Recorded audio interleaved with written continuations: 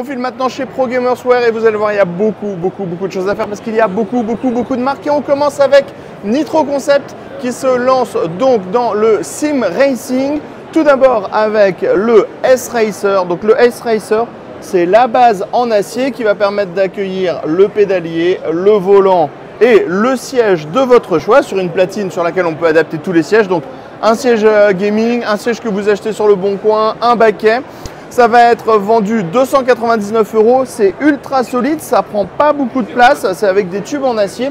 On a les points d'ancrage pour absolument toutes les marques. Vous voyez là, quand j'essaie de bouger le truc, c'est vraiment ultra méga solide. Ensuite, on va avoir un support pour pouvoir mettre un écran. Donc ça va supporter jusqu'au 49 euh, voire 57 pouces. Ça sera vendu 120 euros, 119,90 euros. Donc c'est vraiment pas cher.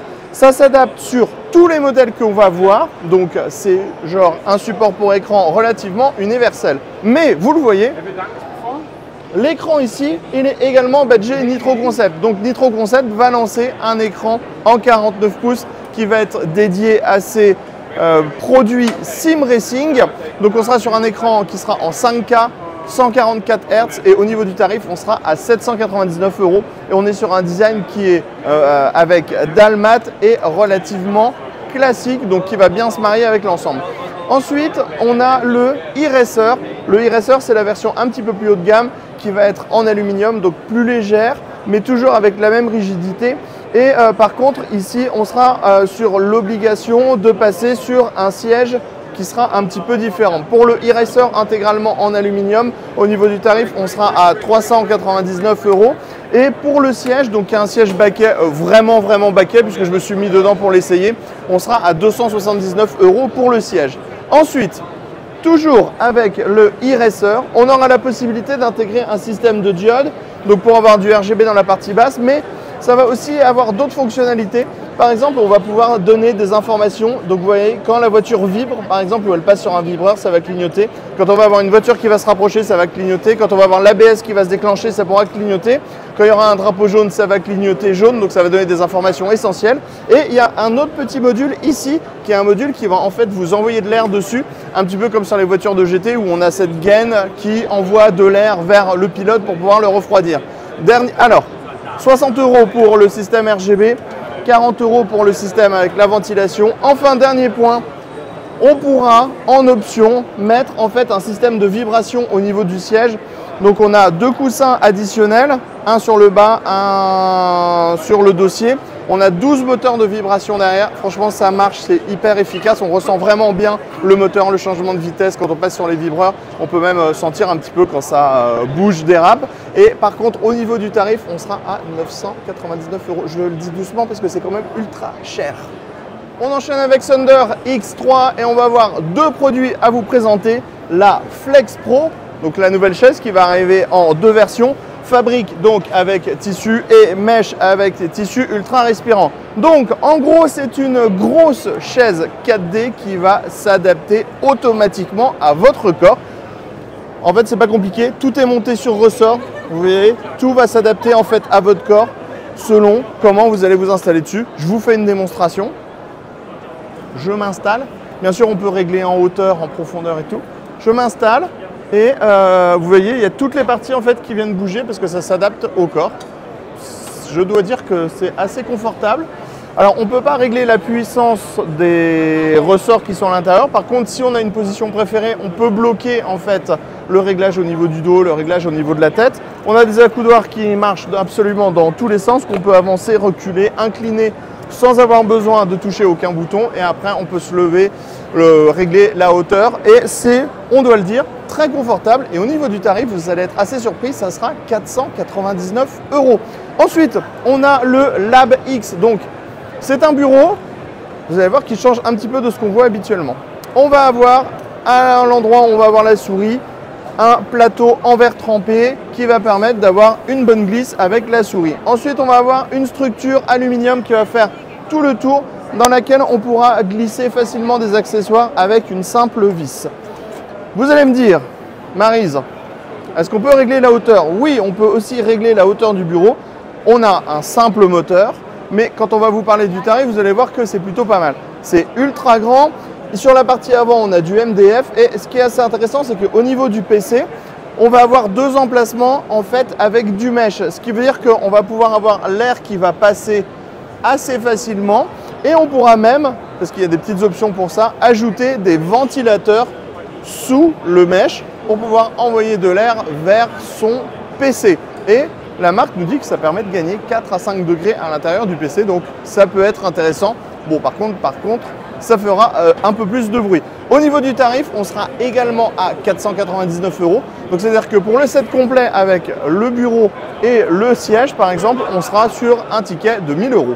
On poursuit avec Endgame Gear et nous allons donc parler périphérique, mais plus spécialement de souris avec quelques petites nouveautés sur des produits que nous connaissons déjà. Par exemple, XM2W, la, sortie, la souris pardon, est sortie il y a un petit moment. On a maintenant la possibilité de passer sur du 4K avec un ongle spécial. Souris sans fil dit aussi souris qu'on peut transporter. Alors dans un tout autre registre, il y aura prochainement une petite boîte de rangement pour la souris, pour le câble USB, pour le dongle, d'autres accessoires si on veut. Donc ça permet de transporter son matériel qu'on achète quand même une petite fortune qu'on commence à cumuler en toute sécurité. Autre accessoire qui peut être utile si on aime bien avoir une prise en main qui tient un peu plus, des grippes. Là, nous avons les switches qu'on peut changer sur la OP1W. Donc, il y a plusieurs modèles qu'on peut acheter séparément ou non. Nous avons ici des grippes qui sont assorties à la couleur de la souris, sauf à la nouvelle OP1 8K qui passe désormais en Purple Frost. C'est un coloris qui est quand même super original et ça permet de voir le travail à l'intérieur de la coque puisque la souris est relativement légère. Elle est à 51,5 grammes pour une souris de cette taille. C'est pas mal.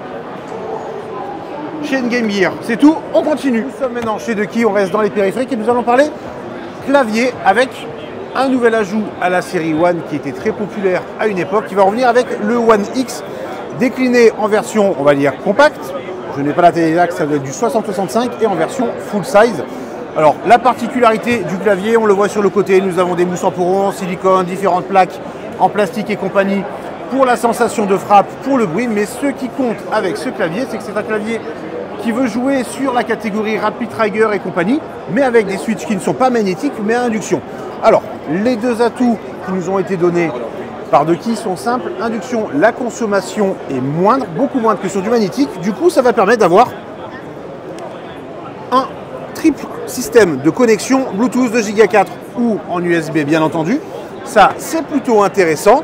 Et enfin, l'autre particularité, alors c'est un peu plus tendancieux, mais admettons, on joue dans un environnement, on a des téléphones à côté ou autre, ça peut créer des perturbations sur un système magnétique, sur de l'induction, normalement, il n'y a aucun problème.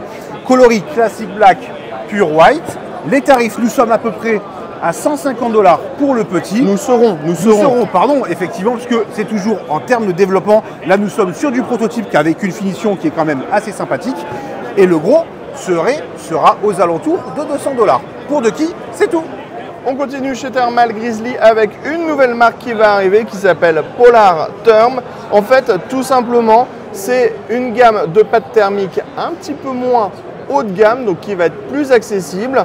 On va avoir au tout départ deux produits, à savoir l'AX8 qui va être facile à appliquer, euh, facile à nettoyer et qui va proposer des performances, on va dire, classiques. Et on va avoir l'AX10 qui va être une pâte thermique plus travaillée, avec plus de conductivité, mais qui va aussi être un petit peu plus difficile à appliquer et à nettoyer, mais qui va offrir des meilleures performances. Enfin, on a une nouvelle chose qui arrive. On avait déjà la CryoSheet qui permettait donc de mettre facilement une petite feuille de graphène entre deux éléments. On va maintenant avoir la Phase Sheet PTM qui va permettre en gros de faire un petit peu la même chose que euh, la CryoSheet mais avec un matériau qui va être différent qui va être un, tout petit peu plus épais et qui va venir ensuite se mettre en forme en fait par exemple sur le GPU de la carte graphique pour avoir un contact optimum parce qu'on sait que sur certains produits, on n'a pas toujours le contact optimum puisqu'on est sur un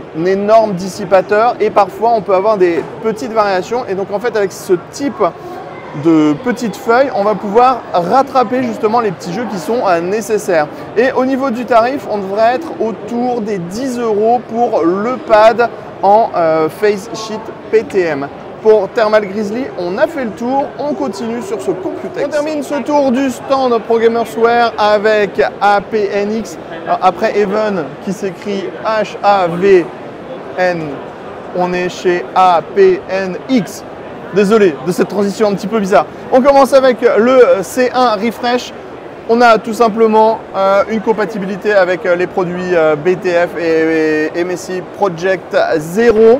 Donc pour le reste, ça ne change pas. C'est de l'ultra mesh absolument partout. On a des couleurs qui sont magnifiques. On a un châssis qui est ultra travaillé à l'intérieur.